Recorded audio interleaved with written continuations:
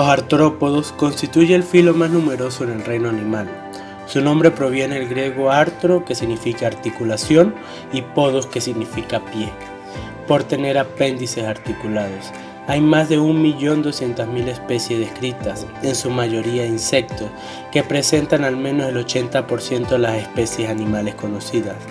Se pueden encontrar tanto en ambientes marinos como terrestres, demostrando su alto nivel de adaptación y evolución. A pesar de su gran variedad y su disparidad, los artrópodos poseen en común características morfológicas y fisiológicas fundamentales. Presencia de apéndices articulados que muestran una plasticidad evolutiva y enorme y que han dado lugar a las estructuras más diversas, como patas, antenas, branquias, pulmones, mandíbulas, quelíceros, etc. Presencia de un esqueleto externo o exoesqueleto quitinoso que mudan periódicamente y un cuerpo constituido por segmentos repetitivos, con lo que el cuerpo aparece construido por módulos repetitivos a lo largo del eje anterior-posterior. Según Bermundo Meléndez, podríamos dividir los artrópodos en tres grandes grupos, los trilobitomorfos, los antenados y los quelicerados. Los trilobitomorfos, el término trilobitomorfo puede, puede ser introducido por Storner en 1944 para incluir a los trilobitos y otras formas parecidas que vivieron en el Cámbrico inferior. Los trilobitomorfa fueron artrópodos acuáticos con antenas preorales seguidas por una serie de apéndices postorales birramios, poco diferenciados y caracterizados por la presencia de branquias laterales originadas sobre el exopodito. Estos cerros fueron exclusivamente marinos, se extinguieron hacia finales del Pérmico, fueron los animales más típicos de la fauna marina de aquellos tiempos.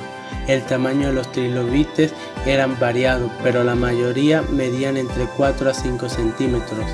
Los hubo de pocos milímetros hasta, unas, hasta unos 60 a 70 centímetros. Este primer grupo de artrópodos se divide en las siguientes cinco clases. La primera es la merostemoides, que tienen aspecto general de merostomas con un escudo dorsal trilobado como el de los trilobites, apéndices birramios y trilobíticos y un telson formado por un único segmento que generalmente termina en una espina. Agrupa los géneros Emeraldella, Noraida y Cygneia. El segundo es los pseudocrustáceos que agrupan las formas sin tribulación dorsal pero que tienen apéndices trilobíticos con un solo artejo basal, ejemplos como la Wactia, la Burguesia y el Eminocaris. El tercer grupo son los marelomorfos, clases que solo comprende el género Marello, que posee un escudo dorsal prolongado en cuatro puntas formados por cuernos e-, encorvados hacia atrás. Tiene un par de ojos frontales y un cuerpo formado por 24 segmentos trilobados. Por poseer caracteres de la clase crustáceos y trilobites, se ha considerado como una forma de transición entre ambas clases de artrópodos.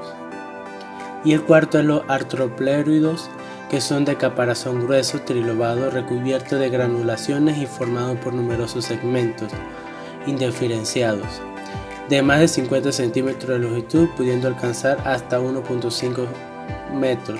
Su aspecto era como los isótopos gigantescos, pero con una organización equivalente a los trilobites. Con un par de apéndices en cada segmento, eran los animales lacustres y los habitantes de los bosques húmedos.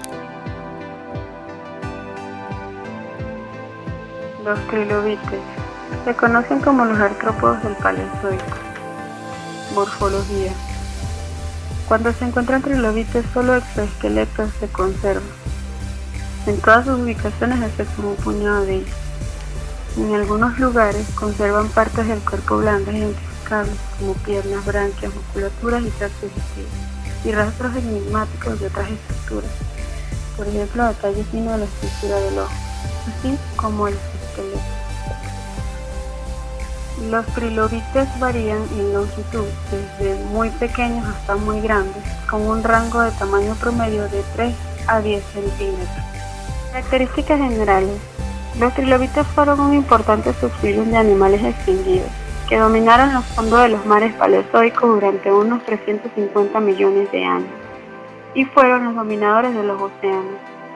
Surgieron ya en los árboles del Cámbrico, alcanzando su mayor, su mayor propagación durante el Cámbrico y el Ordovícico. A partir del Silúrico y el Devónico estuvieron en regresión, hasta que los supervivientes desaparecieron al final de la era, durante el Pérmico hace 250 millones de años.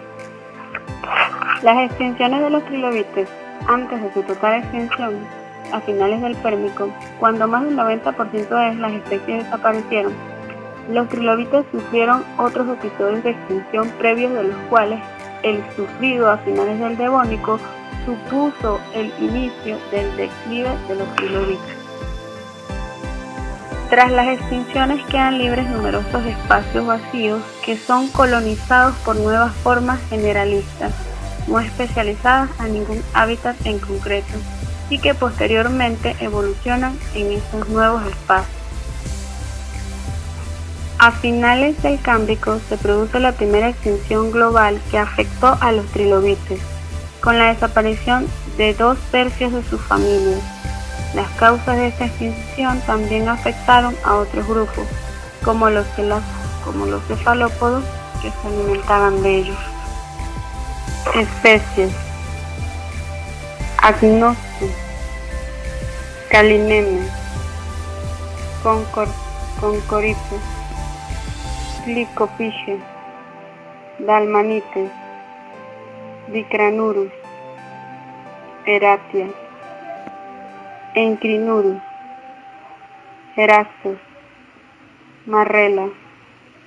Paradocios los trilobites ocuparon casi todos los biotipos marinos, encontrándose formas bentónicas, pelágicas y planctónicas.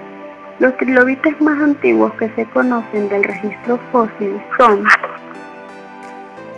Palataspiroideos y Redishioideos, ambos del orden Redischia, datados de 540 a 520 millones de años.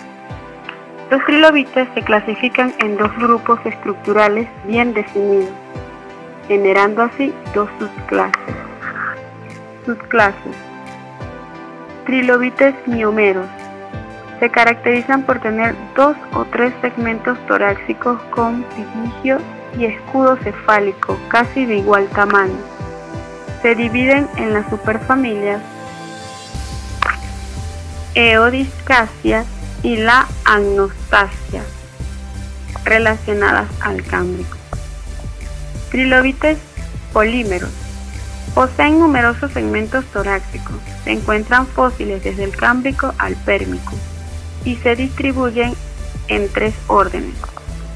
Prototrilobites, mesotrilobites y neotrilobites.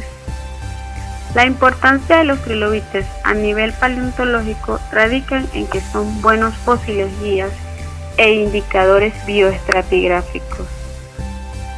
Los antenados. Este subgrupo de artrópodos se divide en tres clases, los crustáceos, los miriápodos y los insectos. Los crustáceos son acuáticos provistos de antenas y apéndices birramios, con caparazón que suelen estar impregnados de carbonato de calcio tienen un cuerpo y están divididos en tres regiones, la cefálica, soma y telzón. Salvo los ostracodos y los decapodos con caparazón bien calcificado, los demás crustáceos fosilizan mal, por lo que la documentación fósil es muy incompleta. Los crustáceos se dividen en cinco subclases, los branquiópodos, los ostracodos copecodos, ciprocodos y malacostráceos.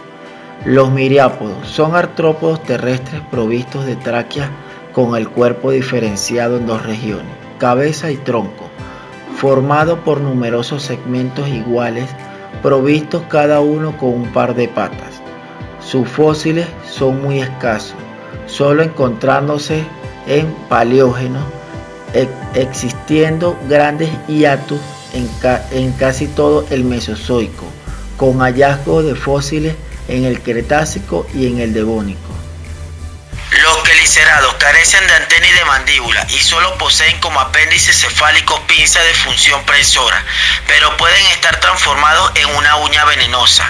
El cuerpo está dividido en tres regiones cefalotórax y abdomen, terminando en un telzón que puede estar transformado en una uña venenosa. Los quelicerados se dividen en dos clases, merestomas y arácnidos. Los merestomas son acuáticos con un gran escudo cefalotorácico y abdomen. Sus cinco pares de apéndices torácicos poseen coxa masticadora, respiran por bráqueas abdominales, poseen telzón grande, por lo general en forma de espina. Se dividen en dos subclases, giganteostráceos o eurotéridos, escorpiones gigantes, y sifosuros. Los eurotéridos también denominados giganteostráceos, son una clase de quelicerados extintos desde el final del Paleozoico, acuáticos o anfibios, que destacan por haber alcanzado los mayores tamaños entre los artrópodos.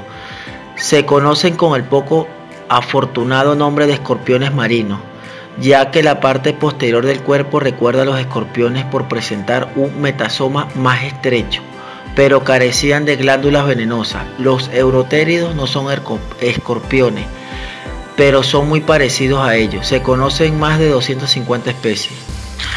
Los arácnidos son quelicerados adaptados a la vida aérea. Sus fósiles son notablemente escasos porque viven en un ambiente aéreo, nada propicio para su fosilización. Se dividen en cuatro subclases que se caracterizan por su disposición del abdomen, los latigastros y los caulogastros, que son los únicos representantes actuales, pero existen otras dos subclases, estetostomados y solútidos, exclusivamente del carbonífero. Los pantópodos son artrópodos marinos de cuerpo estrecho con una probosis frontal y abdomen muy reducido. Tienen siete pares de apéndices el primer par analógico a los quelicerados, terminados en pinza, parece que forman una clase independiente de artrópodos, pero relacionados con los quelicerados. Habitan de preferencia en la región nerítica y se conocen fósiles del Devónico que solo tienen cuatro pares de patas ambulatorias. Como vemos, el filum más grande del reino animal abarca desde el Cámbrico hasta nuestros días, con cuatro líneas evolutivas claramente definidas que corresponden a los cuatro grandes grupos trilobites, merestomas, arácnidos, crustáceos y miriápodos, algunos muy importantes como fósiles guía o característicos de biosona y pisos geológicos y otros no tan importantes debido a su poca presencia fosilífera.